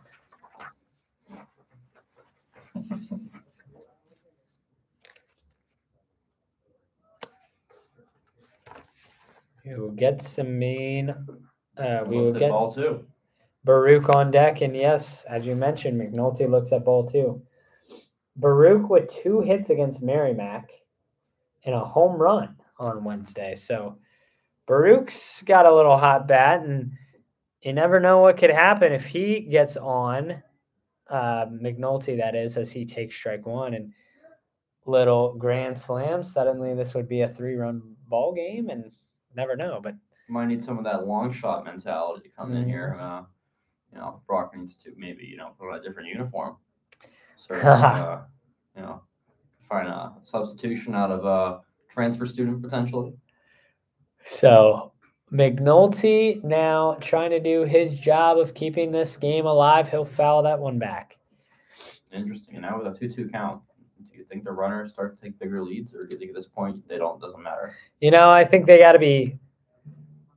Uh, you know, no one's holding them on, but uh, I think if you're Vetrano, you got to be able to score on a single, and that's exactly what McNulty just did. He Round singles, And, And- holds him at third. I think That's that was just an attempt by uh, Coach Gambino to be cautious there with Baruch because you never want to have the to send a guy last. to his death. Yeah, exactly, and you never want that out to be recorded at home plate. So Baruch now in, Interesting choice of music. And his walk-up song is a little jazz. And again, like we mentioned, he homered against Merrimack on Wednesday. We'll see if he can keep that same luck here. The pitch in there, just at the letters. I think Baruch was taking all the way there. Yeah. Take until he gets a strike, most likely. That's probably what these Eagles hitters will do. Barry Walsh still on deck. Baruch a 111 batting average this year. Crum misses. Can't stress this enough. Crum has had a good year, but he didn't have a good outing last time against Coastal Carolina, and again struggling with the Eagles tonight. Couple hits and a walk leads the bases to be loaded. Crum comes set and will fire a ball low. Interesting. Baruch again, with probably, life. Probably taking here, yeah. So Heading two and into a- one. Heading into a potential three-one, two-two count. Yeah. So you think they'll take till two strikes? Maybe. You know, it's seven Unless run they- unless deficit. they- Unless they find a pitch that they really like, it's opportune to wait. And So Baruch was not taking. He swings big hack, and I like the aggressiveness. That one was at the letters. Mhm. He swung and swung through it, but a big hack, No, respectable swing. respectable swing. He's got eight strikeouts on the season and 18 at bats, so hoping to not continue that trend. And he doesn't. He'll line that one, it'll be down, and this one could score Two runs are two. coming. It will. Jimenez chugging, and this game is 15 to 10. Just like that, there's life. How about that? So Barry Walsh, nine hole, trying to keep this game alive, combined 25 runs in this contest. How about that, Michael? Your first broadcast, you get to see 25 runs. I know. Not all baseball games are like this, but uh, it's been an absolute privilege and an absolute treat in the booth. So we'll now have a conference with the pitcher. And I don't think What are they gonna say? We're gonna have a change. Again, it looks like we've had some we're we're getting some action in the pen, worst case, but that is not something this, This Wake word cut to three. We might see a change. Mhm. I think that's the uh, ratification. Or two. Yep. Okay. So the the tying runs in the hole here. So yeah, you're right. Just I think that all important. We talked about that all important first out. The second out, I think, is crucial as Changes well. everything. Once you get that second out, I think that life is kind of halted. You're Uh, on life support. yeah, Yeah. exactly. So Totally agree. Walsh trying to keep that some semblance. And of course, the double play is not to jinx it, but it's an ever-present threat on both the third and second bags at this point. You're so fielders need to be aware of it. They need to move quick. You are right. Or runners, excuse me. Well, both the fielders too. Mhm.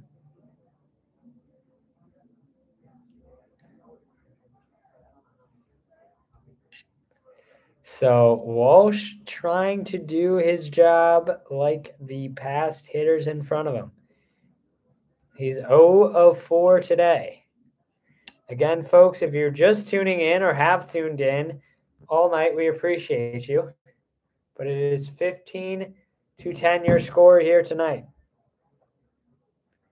the Eagles and the Demon Deacons as Crum delivers to Walsh, and that one misses outside. Walsh climbs back in. Crum out of the stretch. Runners will be on the move with a ball on the ground as Walsh takes again. I think if you get a walk, you could see a change as well. Mm, maybe, maybe, Maybe. maybe. with the top of the order, top of the order is on deck. Calumet awaits and me see a strike. strike. It is crucial also to note again the lefty lefties at the top of the Eagles lineup. We're yet to see if Coach Gambino will make a switch in that department. He's already gone to his bench a couple times. As Crum comes set and delivers, and Walsh will foul that one off. And we head to a two-two count. So the count is even, two and two. One out in this contest in the bottom of the ninth. The Eagles trying to mount a fierce comeback. Crooked numbers all across the board today, folks. Crum comes set, he'll deliver. And that one misses outside. How about that? Walsh takes, and this is an all important full count here on Walsh. Crum, trying not to lose him. He'll fire. Walsh swings through it. That Uh, could have been ball four. two. That could have been ball four. He swung through it, and now two outs. That's got to boost Crum's confidence. Absolutely. Now he's going to be way more willing to go inside and throw that heat up high and down low. Expect the first pitch here to be coming quick, coming hard, and coming inside. So Rafe Shalumet steps in. A lefty facing another on the mound. Crum. Sure enough, high and inside. Yes, and the umpire is taking a tumble. That is not what you want to see. He took that one to the body, and that's got to hurt. And you can see the catcher is really broken up about it. Well, the catcher runs out to give him some time. As now, this is not what you want to see, especially with one out remaining. Where I couldn't tell where he got hit. It was in his chest or something. Yeah, I can't I, imagine he got hit lower than that. Like the, the catcher's right in front of him. I cannot tell. I think on the arm, perhaps. I just was a face. Well, he's got that mask, No, so but still, the impact. wow, and he's gonna battle through. How about this? It's the Burns and the Collins show behind home plate. That's toughness, and folks. That is toughness, and that pitch was a ball. Uh, so we've got a 1-0 count. Second and third for the Eagles as Baruch advanced on the wild pitch. And we've got a pitch into Shalumet as a strike. You best believe everything's coming across as a strike at this point. I mean, he's got to be. That's got to be stinging. And I, I think that if this game had two more innings, perhaps he wouldn't tough it out. But knows the end is near, and that one hit Ooh. Shalumet. wow. So Crum loses them, and now Leary's stepping up. If Leary gets on, the tying run comes to the plate, and we're gonna get a pitching change. Oh, that seems a bit excessive. So we're gonna get a pitching change now against Leary. Imagine if this kid comes in, like, bombs it. Yeah, here we go. I mean, the Eagles, they wanted a chance and they're getting a chance. Crum gave it to him. Absolutely open the door. So we'll have a new pitcher. New pitcher in for the Demon Deacons. We'll try to find out who it is.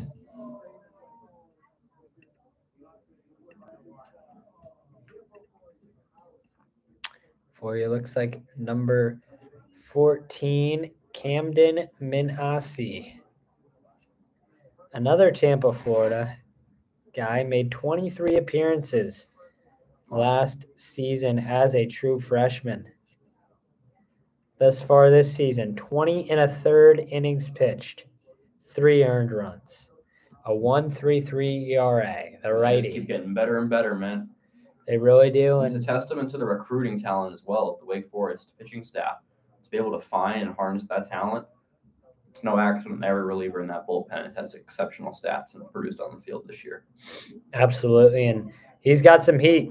I think that if you're a guy coming in, this you know you have a five-run buffer, but also bases are loaded, so tying run on deck. Oh, at this point, you're just trying to get the out. You have no responsibility besides the guy at the plate, so Mhm. your ERA is not in jeopardy. The only thing you want is to end this game. Yep. You're not Yep. concerned if it's by one or by two or by three. And we're now approaching four hours in this contest. That's what baseball does to you, huh? Yeah. First broadcast and 25 runs, four hour game. I will. I will say, uh, makes me respect Tom Karen for doing the Beanpot back to back. Yeah, Yeah, takes a lot out of you. absolutely. To have that energy still at the very end. Yeah. Takes a lot out of you for sure. Here we go. So Minacci fish, finishing up his final pitches. We mentioned he's given up three earned runs all year. Two of those came against Elon all the way back on March 1st, so a month ago. And now he'll face Leary, who will have a chance to hit yet another home run and make things really interesting. Mhm. Now the catcher will consult with Minacci before we begin this at bat. This is your if you're a baseball player, this is what you live for. You know that's gonna be Especially when you're batting at the plate, balls Yep. in your hands, whole game. Yep. So We see the second baseman doing high knees. yep, trying to stay trying to loose. Trying to stay loose. The weather getting colder outside. And Leary stepping in. The Eagles down to their final out. Here we go. Minacci delivers. Outside for a ball. Camden Minacci, a sophomore out of Tampa, Florida. The righty. Out of the windup. Facing Leary, he'll fire, and that will be in for a strike. Wake Forest faithful cheering him on. They want to get out of here as much as anyone else, probably. But this one's a doozy, and we're sticking around for you. That one's in for a ball. Just Interesting. Very similar spot, but not getting the call. Yep, just missed. Now with 2 1, I have to imagine. What do you think? Hold here? I think be aggressive, especially with Leary's Leary's capability to drive the ball, and he'll swing and just miss it. Fouled it straight back. So now the Eagles down to their final strike of the day. Wake Forest on their feet, as are we. Leary standing in the pitch, swing and a miss, and Minacci gets it done. The four hour marathon has concluded, and folks, we appreciate you all tuning in with us. Tomorrow, these two teams will be back for the second game of the series at 2 p.m. here at the Harry, the Harrington Athletic Village, beautiful home to the Boston College baseball and softball teams. And Michael, final thoughts 15 to 10 is your score tonight. Wake Forest out hitting the Eagles 16 to 14, two errors for the Demon Deacons, and one for Boston College. Absolutely. I think. Uh, oh, okay, left. Um, I think there's uh, something to be said about fundamentals. Obviously, in most baseball games, fundamentals are what make or break games, and this game is no exception. Certainly, excellent hitting played a part, excellent pitching played a part, base running was critical in moments, fielding was a very hot topic throughout this game, and we see all these factors in the end culminate in Wake Forest taking this victory. Yes, and folks, thank you for tuning in with us. Have a great evening. We will see you soon.